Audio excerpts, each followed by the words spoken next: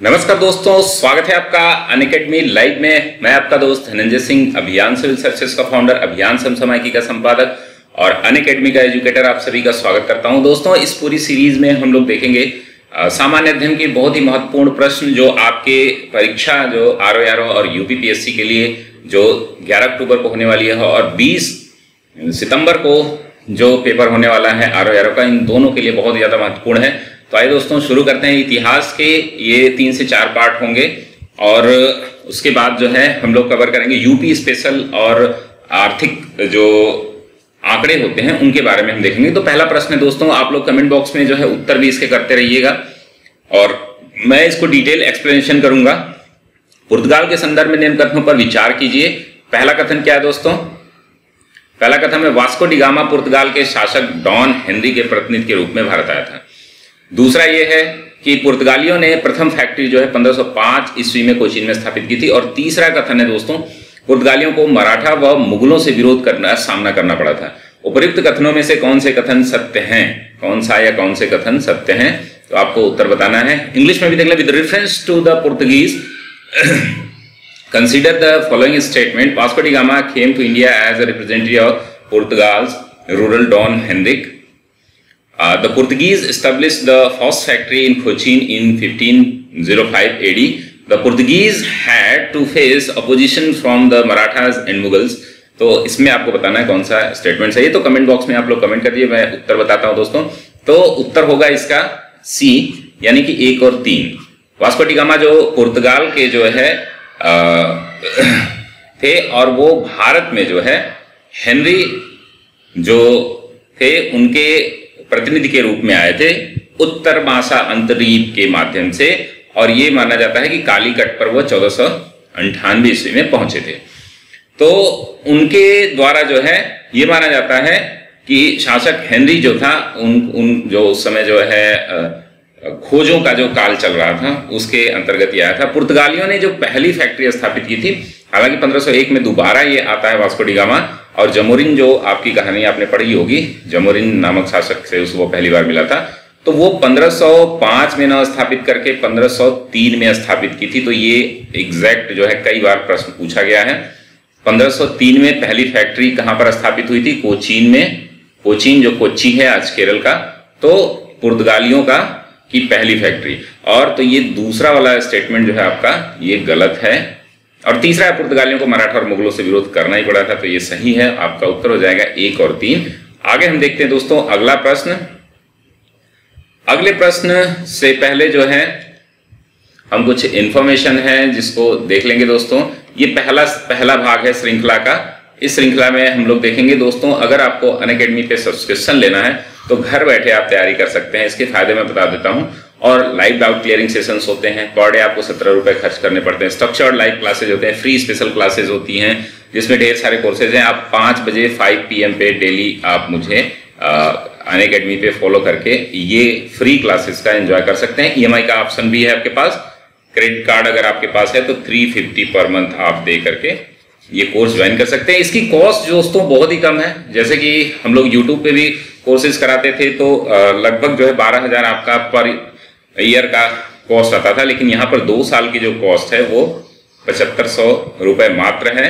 और साथ ही साथ आप देखेंगे कि एक साल की आप तिरसठ सौ, छह महीने का अगर सब्सक्रिप्शन आप लेना चाहते हैं तो इक्यावन सौ है।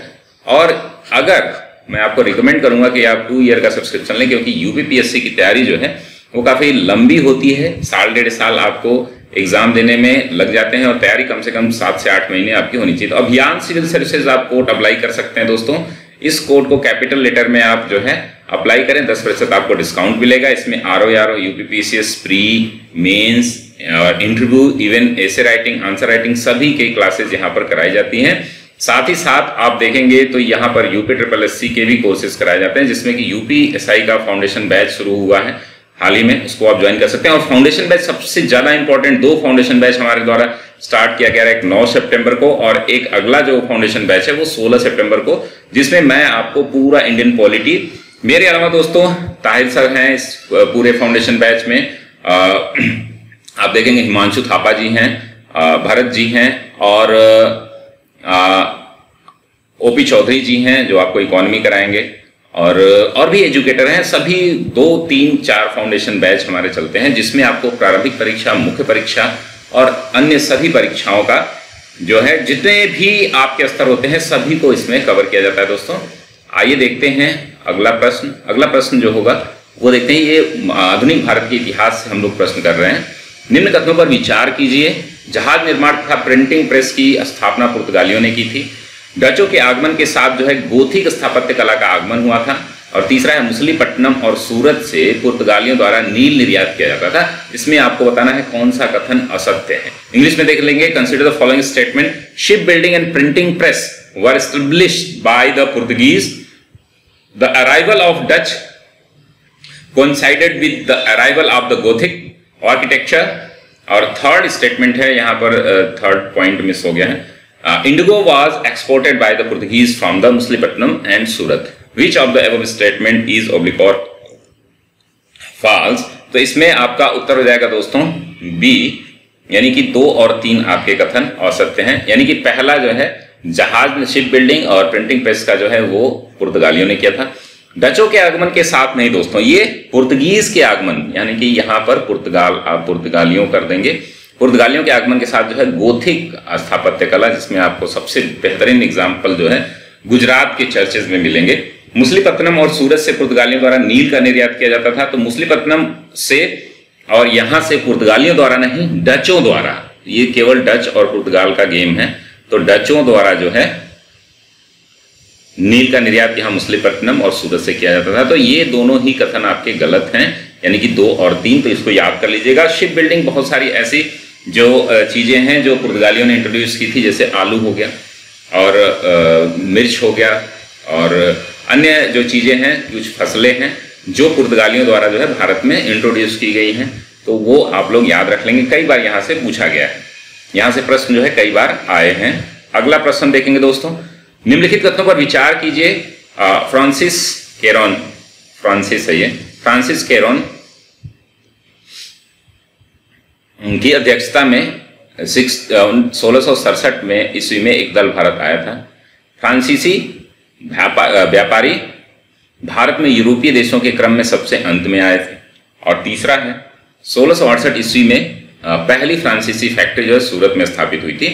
ये तीन स्टेटमेंट हैं। आइए इनको इंग्लिश में देख लेते हैं दोस्तों। Consider the following statement, a group arrived in India in 16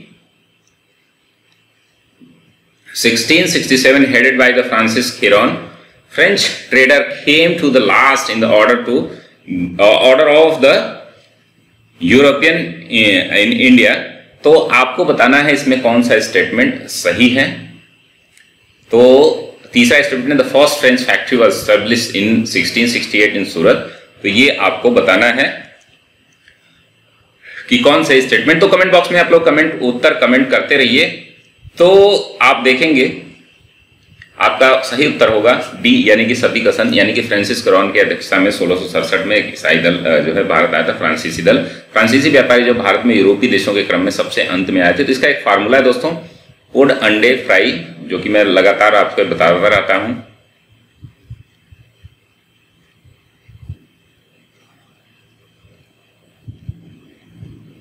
food अंडे, फ्राई का मतलब यहाँ पर है, पुर्तगीज। यानी कि पुर्तगाली, डच, अंग्रेज़, डेनिस और फ्रांसीसी। तो ये आपका क्रम हो जाता है। सबसे पहले आते हैं पुर्तगीज, फिर उसके बाद जो है आएँगे डच, उसके बाद इंग्लिश, अंग्रेज़, फिर डेनिश, और सबसे लास्ट में फ्रेंच आते हैं।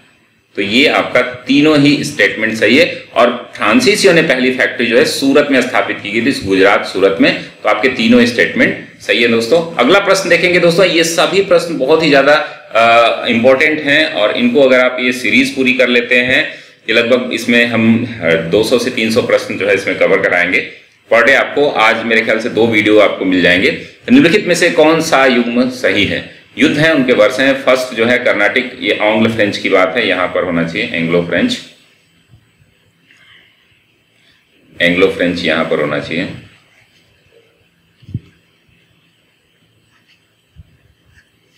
तो प्रथम कर्नाटक युद्ध 1747 से 48 तक। द्वितीय कर्नाटक युद्ध जो है, सत्रह से चौवन, और वांडीवास का युद्ध सत्रह से तिरसठ। तो ये आपको बताना है, इसमें से कौन सा सही है? First Carnatic war second Carnatic war and war of Wandiwash तो आपको बताना है इसमें से कौन सा सही है तो आपका सही उत्तर कमेंट बॉक्स में कर दीजिए।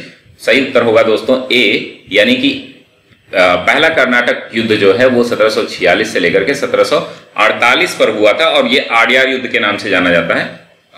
फ्रेंच और अंग्रेज़ों के मध्य हुआ था, और इसमें दूसरा जो कर्नाटक युद्ध है, सत्रह से लेकर चौवन जो है, फ्रांस व अंग्रेज़ों के मध्य जो है, ये अनिर्णायक युद्ध था। उसके बाद जो है, अंतिम रूप से आप देखेंगे जो तीसरा जो है वांडीवास का युद्ध जो है सत्रह से तिरसठ तक, ये साठ से तिरसठ नहीं है, सत्रह से लेकर के तिरसठ में हुआ था और अंग्रेज़ों फ्रांसीसियों को पराजित कर दिया था और लास्ट में जो है ये आपने देखा था कि सत्रह में ये पूरा युद्ध समाप्त होता है और यहीं से फ्रेंच जो है भाग कर चल जाते तो एक और दो आपका स्टेटमेंट सही है।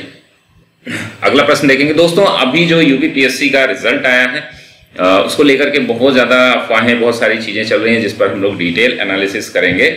और दोस्तों मेरे द्वारा जो गाइड किए गए, आपने देखा था मैराथन वीडियो मेरा देखा ही होगा आप लोगों ने, जो 2018 का मेंस दिया था जिन्होंने। तो उसमें मैंने चार मैराथन वीडियो बनाए थे और जिससे लगभग जो है सिक्सटी परसेंट जो है टॉपिक कवर हो गए थे। हालाँकि जो स्केलिंग नहीं हुई है, उसके कारण जो है मेरे द्वारा गाइड किए गए 250 प्लस स्टूडेंट ने मुख्य परीक्षा लिखी थी, लेकिन स्केलिंग न होने के कारण जो है हम लोगों का रिज़ल्ट बहुत अच्छा नहीं रहा है। फिर भी 22 जो है अपियर हुए थे 25 जो है अपियर हुए थे इंटरव्यू में, जिसमें से नाइन फाइनल सिलेक्शन है। हालाँकि रैंक बहुत ज़्यादा अच्छी नहीं है, फिर भी जो नौ सिलेक्शन हुए हैं, वो बहुत ही शानदार हिंदी मीडियम के हैं। आठ सिलेक्शंस और उसमें जो है एक सिलेक्शन जो है इंग्लिश मीडियम का है वंदना का। और ये सभी हमारे टेस्ट सीरीज़ से जुड़े लोग रहे हैं। तो आप लोग भी आ, हमारे द्वारा गाइडेंस देने में जो भी आप देखें पूरी तरीके से मैं अन पे ही गाइड कर रहा हूँ प्री का मेंस का सभी का। तो आप सब्सक्रिप्शन ले लें। सब्सक्रिप्शन जब भी लें तो Abhiyan civil services code apply करें दस प्रतिशत का आपको डिस्काउंट मिलेगा। और मेरे द्वारा जो है पर्सनल गाइडेंस आपको बहुत सारे प्री मेंस के टॉपिक्स जो है वो कवर कराए जाएँगे। चलिए अगला प्रश्न देखते हैं। प्रश्न क्या पाँच?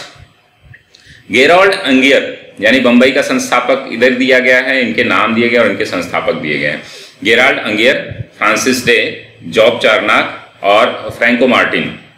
ये इतने जो है नाम दिए गए हैं। इसमें आपको बताना है कि कौन कहाँ का संस्थापक है। ठीक है?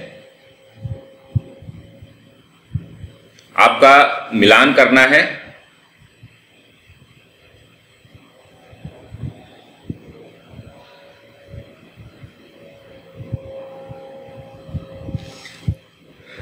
तो आपका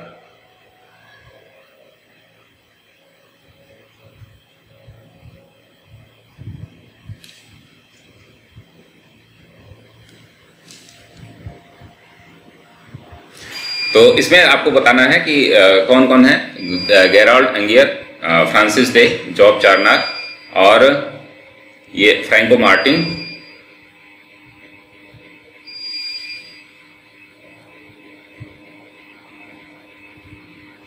एक मिनट इसको हम लोग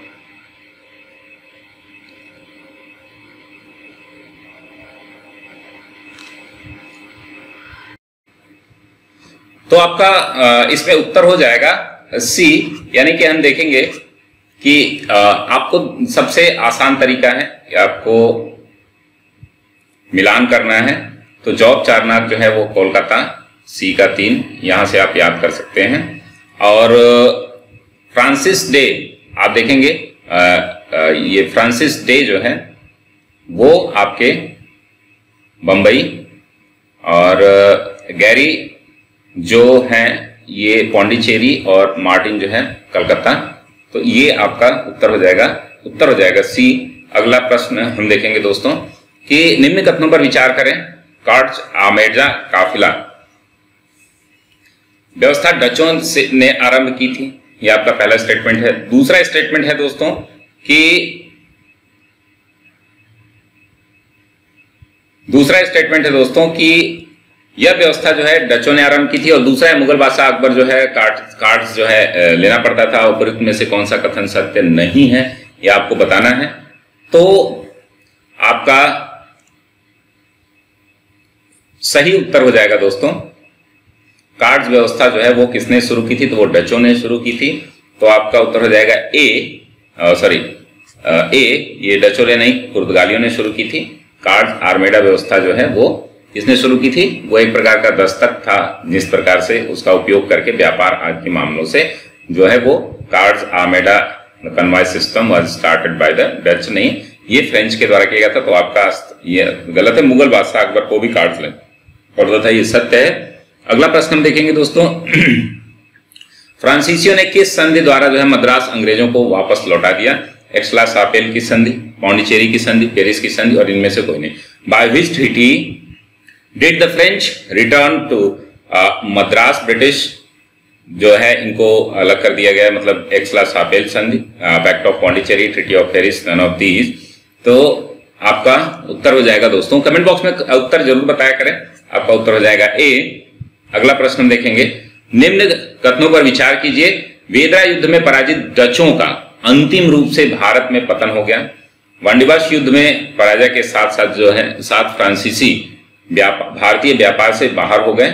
ये दूसरा स्टेटमेंट है उपयुक्त कथनों में से कौन सा कथन जो है, असत्य है, नहीं सत्य है, यानी कि सत्य नहीं है। Consider the following statement Dutch defeated in the Bedara war finally fell in India और French got out of Indian business with defeat of Wandiwash युद्ध वंडीवास वार या बैटल ऑफ़ वंडीवास तो ये आपको बताना है इनमें से कौन सा सही है असत्य है, यानी कि कौन सा फाल्स है तो कोई भी फाल्स नहीं है, आपका उत्तर हो जाएगा डी क्योंकि ये दोनों स्टेटमेंट सही है। वेदरा का युद्ध जो हुआ था। वेदरा का युद्ध कब हुआ था? आप हमें कमेंट बॉक्स में बताएँगे। और वांडीवास का युद्ध कब हुआ था? अभी मैंने बताया था। तो आप जो है कमेंट बॉक्स में ज़रूर देख लें। तो ये वेदरा का युद्ध जो है, वो कब हुआ था? आप हमें कमेंट बॉक्स में बताएँगे। अभी मैं लास्ट में इसको आपको डिस्क्राइब कर दूँगा। तो वांडीवास का युद्ध अभी हम लोगों ने देखा था। तो ये प्रश्न जो है, बहुत ही ज़्यादा इंपॉर्टेंट है। औरंगज़ेब और अंग्रेज़ों के बीच जो है प्रथम मुकाबला कहाँ पर हुआ था? हुगली, सूरत, मुसलीपट्टनम। या भड़ौच। पहला मुकाबला जो है कि कब हुआ था और किस टाइप में हुआ था?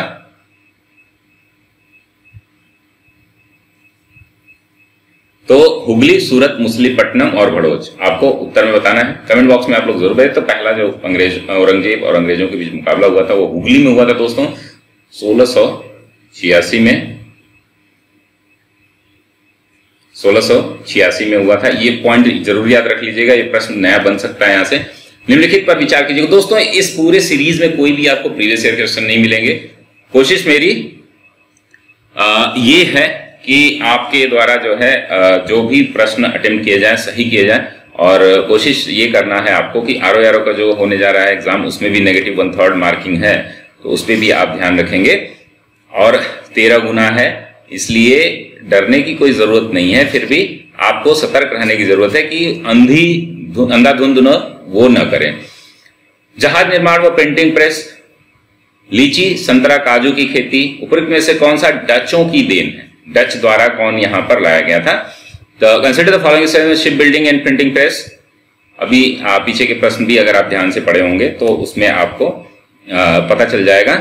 लीची ऑरेंज कैशू कल्टीवेशन जो है किस ये निम्न में ये ऊपर जो दिए गए हैं वो उनमें से कौन डचों द्वारा लाया गया था ये आपको बताना है। कमेंट बॉक्स में उत्तर ज़रूर इस, इसको पोज करके उत्तर करते रहिए। सामान्य दिन की सीरीज़ है दोस्तों इसमें हम लोग 200 से अधिक प्रश्न करेंगे और इसको जो है आप प्रैक्टिस के रूप में ले सकते हैं तो आपका उत्तर हो जाएगा डी कोई भी इसमें सही नहीं है क्योंकि जहाज़ निर्माण और प्रिंटिंग प्रेस अभी हमने पिछले प्रश्न में बात किया था ये कहा किसने लिया था? पुर्तगीज ने।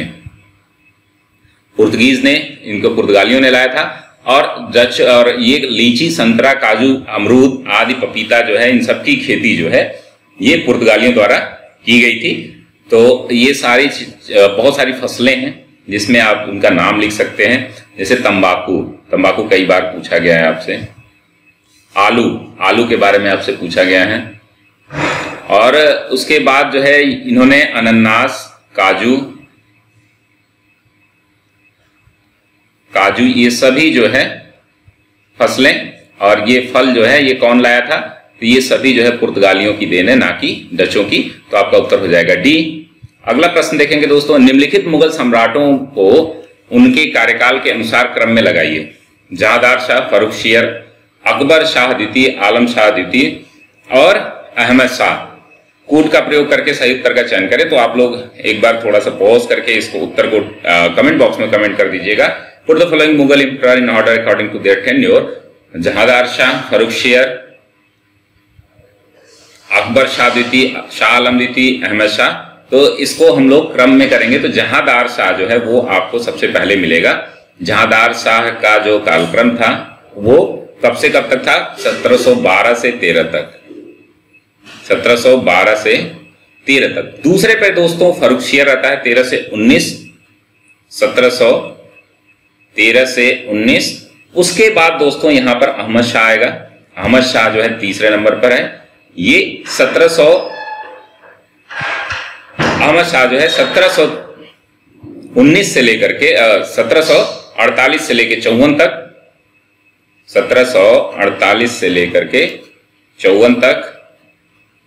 और अकबर शाह द्वितीय जो है, वो वो जो है 1806 से लेकर अठारह तक। और आप देखेंगे, शाह आलम द्वितीय जो है, वो सत्रह सौ उनसठ से लेकर के अठारह सौ छह सौ।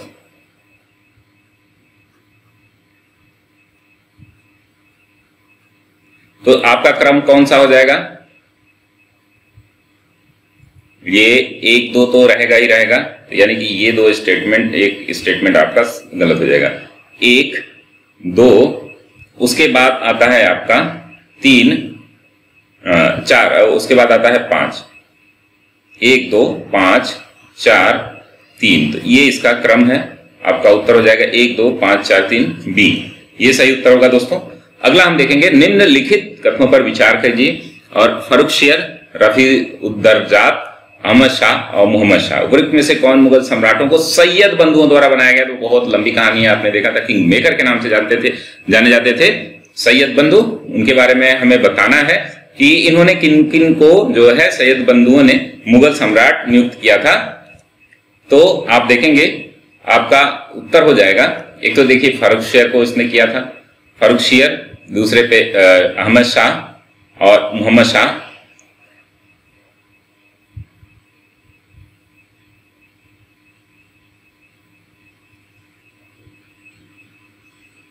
तो इन सभी को जो है किसने नियुक्त करवाया था? सैयद बंधुओं द्वारा। तो ये हो गया आपका उत्तर हो जाएगा एक, दो, चार सॉरी अहमद शाह नहीं होगा। रफी उद्दरजात सॉरी रफी उद्दरजात अहमद शाह नहीं होगा। एक, दो, चार आपका उत्तर हो जाएगा। ए, सही उत्तर है आपका। रफी उद्दरजात और कौन था एक शासक? आप जो है कमेंट बॉक्स में बताएँगे। एक और शासक था, रफी उद्दरजात के बाद जो बना था, सी का। तेरहवा नंबर का प्रश्न देखते हैं दोस्तों। इससे पहले एक सामान्य सी जानकारी है दोस्तों जो कि आप देख सकते हैं कि बहुत ही बेहतरीन फाउंडेशन बैच हमारे द्वारा स्टार्ट किया गया है। आप उस बैच से जुड़ सकते हैं जो 16 सितंबर से यानी कि कल से स्टार्ट हो रहा है जिसमें आप जो है हमारे साथ जो है पाँच और एडुके, एजुकेटर हैं जिनको आप जो है वहाँ पर देख सकते हैं। जैसे जावेद जावेद सर हैं चौधरी सर हैं भरत जी हैं आप देखेंगे हिमांशु थापा जी हैं, जो टॉप एजुकेटर हैं आपके, वो सभी रहेंगे और अन्य भी है तो वेंसडे से, यानी कि कल से टॉप एजुकेटर द्वारा जो है फाउंडेशन बैच में आप लोग देखेंगे दोस्तों प्री मेंस सभी आपके आंसर राइटिंग से भी प्रश्न कराए जाएँगे और बहुत ही डिटेल एनालिसिस की जाएगी। एक और बैच 9 सितंबर से शुरू हो चुका है, उसको भी आप ज्वाइन कर सकते हैं। दोस्तों यूपीएसआई के लिए भी बैच हम लोगों द्वारा लाया गया है चौबीस अगस्त से तो जिसमें अन्य एजुकेटर हैं, अभिनव जी हैं, गोविंद जी हैं प्रिंस चौधरी और सारांश जी हैं, ये आपको कराएँगे। घर बैठे आप तैयारी कर सकते हैं, सर दोस्तों अन अकेडमी के साथ, जिसमें टॉप एजुकेटर आपको मिलेंगे। लाइव डाउट क्लियरिंग, हर तीसरी क्लास जो है, लाइव डाउट क्लियरिंग सेशन होती है। सत्रह रुपए जो है, आपको पर डे खर्च करने पड़ते हैं। स्ट्रक्चर्ड लाइव क्लासेज होती हैं, जिसमें फ्री स्पेशल क्लासेज आपको मिलती हैं। 5 पीएम पे आप डेली, आज क्लास नहीं है, लेकिन कल से जो है, वो आपको 5 पीएम पे डेली आपको मिलेगी। ईएमआई का ऑप्शन है, दोस्तों। ईएमआई e का अगर आपके पास क्रेडिट कार्ड है तो आप 350 पर मंथ दे करके इसको अवेल कर सकते हैं। और दोस्तों, जब भी ये कोर्स ज्वाइन करें तो आप जो है अभियान सिविल सर्विसेज़ कोड ज़रूर अप्लाई करें, क्योंकि दोस्तों, मेरे द्वारा गाइड किए गए 2018 में फाइनली नौ सिलेक्शन हुए हैं दोस्तों। फाइनली नौ सिलेक्शन हुए हैं और 42 सिलेक्शन जो है आर ओ के मेरे द्वारा गाइड किए हुए प्री मेंस द्वारा जो स्टूडेंट इसमें चयनित हो चुके हैं। जिनके इंटरव्यू जल्द ही हम इसी यूट्यूब चैनल पे ले आएँगे। R O R O UPPCS pre UPPCS mains answer writing essay writing सभी कोर्स मेरे द्वारा कराए जाते हैं दोस्तों। दो साल की फ़ीस जो है मात्र पचहत्तर सौ रुपए है और एक साल की फ़ीस जो है वो तिरसठ सौ है। और आप देखेंगे सिक्स मंथ्स की फ़ीस जो है वो इक्यावन सौ है। तो मैं आपको रिकमेंड करता हूँ कि पचहत्तर सौ दे करके दो साल की फ़ीस आप अवेलेबल कर सकते हैं अवेल कर सकते हैं। और दो साल में आपका पूरा कोर्स कंप्लीट कर दिया जाएगा। पाँच बजे पर डे आप जो है मुझे फॉलो कर सकते हैं अकेडमी पे जिसपे मेरा कोर्स मिलेगा। अगर आपको हमारा तरीका अच्छा लगता है प्लस पर आएँगे दोस्तों, जादुई तरीके से हम लोग वहाँ पर क्लास लेते हैं। आपको बहुत सारा इंटरेक्शन होता है। जो लोग भी प्लस पे हैं, वो लोग आपको बताएँगे। तो आइए देख लेते हैं कुछ और प्रश्न हैं उन और प्रश्नों को। तो इन प्रश्नों के साथ ही दोस्तों हम लोग तैयारी को अपने जारी रखेंगे। तो अगला प्रश्न है, प्रश्न संख्या तेरह, निम्नलिखित युग्मों में कौन सा जो है सही या सही है? लंपट मुर्ख जहादार शाह, शाहजहां द्वितीय, रफी उद्दौला और घृणित कायर जो है, वो फरुखशियर इसमें से आपको बताना है कि कौन सा सही है। Which of the following pairs are correctly match lustful fool यानी कि लंपट मूर्ख जो बोला जाता है, जहादार शाह, शाहजहां द्वितीय को रफी उद्दौला और हेटफुल कावर्ड जो है वो घृणित कायर जो है फरूख शेयर को बोला जाता था। तो आप कमेंट बॉक्स में उत्तर ज़रूर करें तो आपका सही उत्तर होगा। डी दोस्तों इसमें से सभी प्रश्न जो है आपके आ, सभी कोटेशन यानी कि लंपट मूर्ख जहादार शाह को शाहजहां रफी उद्दौला था और घृणित कायर जो है वो फरूख शेयर को बोला जाता था।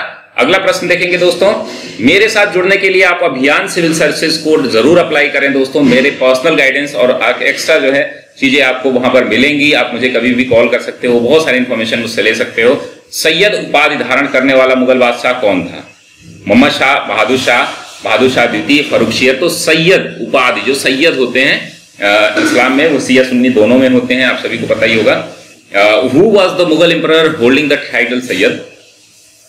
Bahadur Shah. तो इसमें आपको बताना है, इनमें से कौन है? तो आपका सही उत्तर होगा दोस्तों, बहादुर शाह, प्रथम। बहादुर शाह प्रथम ने सैयद की उपाधि धारण की थी।